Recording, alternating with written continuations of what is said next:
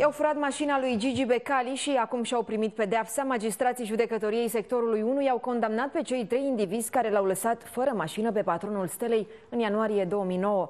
Acesta își lăsase mașina pornită cu cheile în contact la câteva sute de metri de casa sa din Pipera. Mașina a fost recuperată după câteva ore chiar de badigarzii lui Becali. Sandu Geamă nu a primit o pedeapsă de 3 ani de închisoare, iar cei patru complici ai săi vor sta între 4 și 12 ani după gratii. Totodată ei sunt obligați să-i plătească lui Gigi Becali daune morale în valoare de 3.000 de lei. Complicii lui Sandu Geamă nu au primit sentințe mai mari pentru că au fost judecați în mai multe dosare de furt. Decizia de astăzi poate fi atacată cu recurs.